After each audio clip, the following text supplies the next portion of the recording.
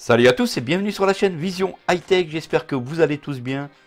Apple a enfin délivré une version 13.2, la première version bêta, et on va voir ensemble les nouveautés de cette version.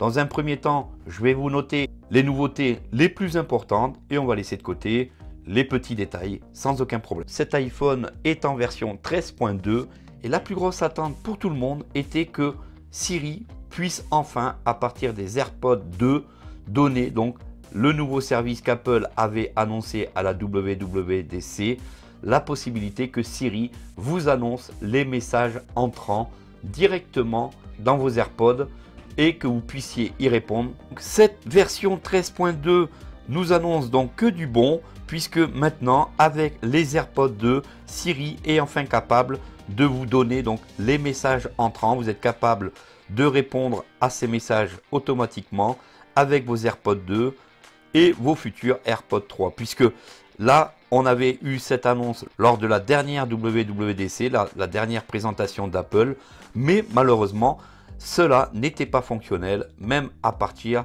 d'iOS 13, iOS 13.1, iOS 13.1.2. Il a fallu donc vraiment attendre cette nouvelle version bêta iOS 13.2.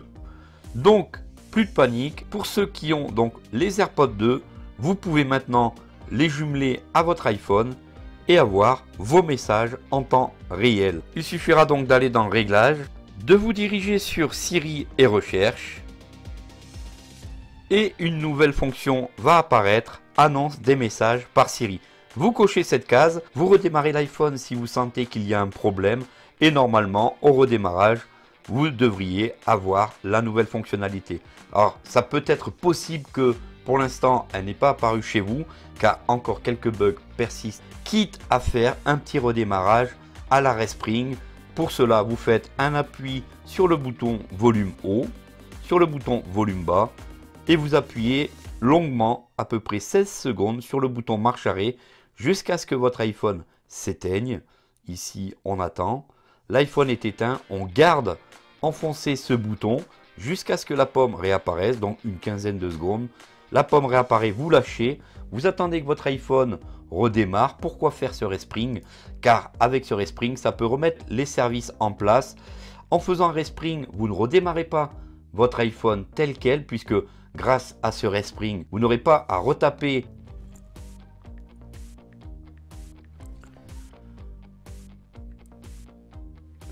Une fois que vous avez redémarré, vous revenez dans Réglages, vous revenez donc dans Siri et Recherche et vous regardez si la fonction est apparente maintenant.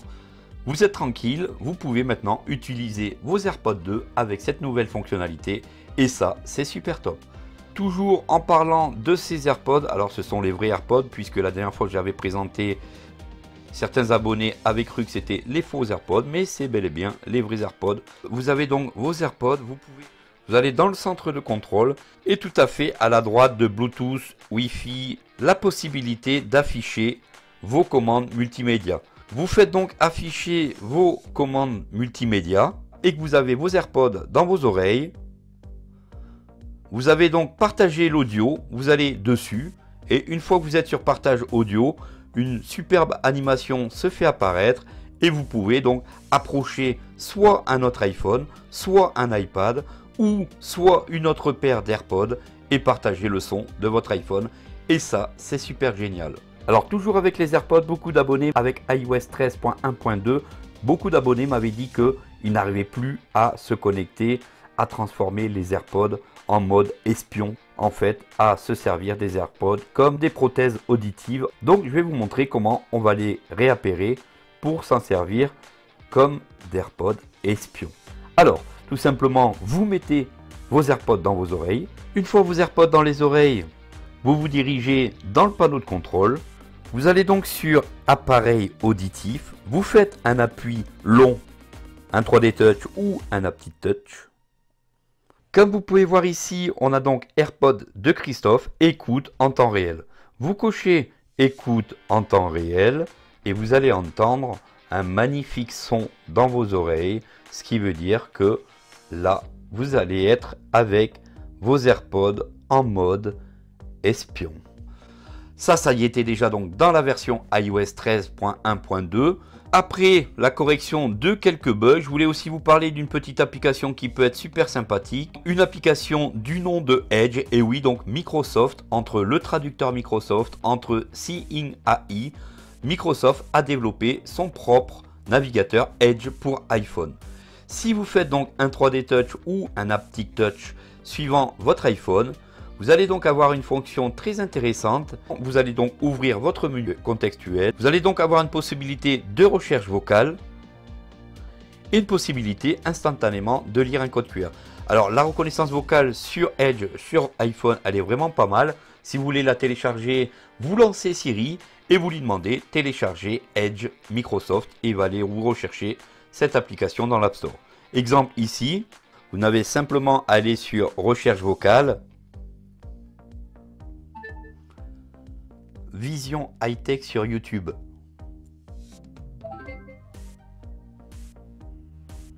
Et normalement, Edge vous dirige directement sur les bons liens instantanément. Vous pouvez même demander une adresse URL d'un site pour qu'il vous l'ouvre automatiquement. Ici, on pourrait lancer la première vidéo de Vision High Tech qui est. à tous et bienvenue sur la chaîne Vision High Tech. J'espère que vous allez. Alors n'hésitez pas à aller voir cette application, elle est vraiment géniale puisqu'elle vous recherche tous les liens automatiquement avec un Aptic Touch ou un 3D Touch. C'est rapide, efficace. unitedvision.fr Voilà, donc vous voyez, c'est rapide, c'est efficace. On est donc sur le site instantanément pour justement ici aller vérifier si vous avez besoin de matériel spécialisé pour les personnes déficientes visuelles.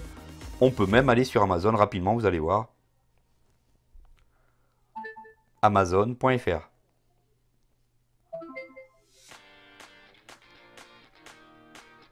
C'est ultra rapide, instantané et ça fonctionne. C'est Microsoft Edge sur un iPhone. Et petite astuce aussi avec ce Microsoft Edge compatible iPhone, tout en bas à droite, vous allez donc dans les paramètres Ensuite, dans ces paramètres, vous vous dirigez sur vous vous redirigez sur paramètres que vous validez. Une fois sur paramètres, vous vous dirigez vers le bas et vous allez voir que c'est magnifique. Microsoft a pensé à tout. Ils ont même intégré le mode nuit sur leur navigateur. C'est vraiment super top. Ici, on peut voir que le mode clair est sélectionné. Et on prend donc le mode foncé. Et vous voyez que ce Microsoft Edge pour iPhone est devenu donc en mode foncé. Et ça, c'est super génial.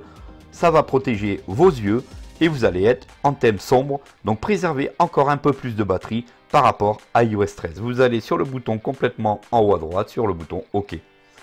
C'est validé. Votre navigateur est en mode sombre, comme le reste de votre iPhone, si vous avez décidé de le mettre en mode sombre. Et ça, c'est vraiment super top pour vos yeux et pour préserver un peu plus de batterie sur votre iPhone. Alors côté batterie, Vraiment, j'ai trouvé que c'était vraiment mieux sous iOS 13.2. Je préserve vraiment beaucoup plus de batterie. Je me retrouve plus le soir en utilisant vraiment l'iPhone toute la journée, aux alentours des 30-35%. C'est vraiment pas mal en termes de batterie au niveau de cette version bêta iOS 13.2. Et pour terminer, donc côté fluidité, je le trouve quand même bien plus fluide. Merci à vous d'avoir pris un peu de temps sur cette vidéo, sur ces dernières petites nouveautés sur cette version bêta iOS 13. N'hésitez surtout pas, c'est super important, ça m'encourage et ça continue à faire évoluer la chaîne Vision High Tech. Abonnez-vous, mettez un gros like. A très vite pour une prochaine vidéo. Merci à vous. Salut à tous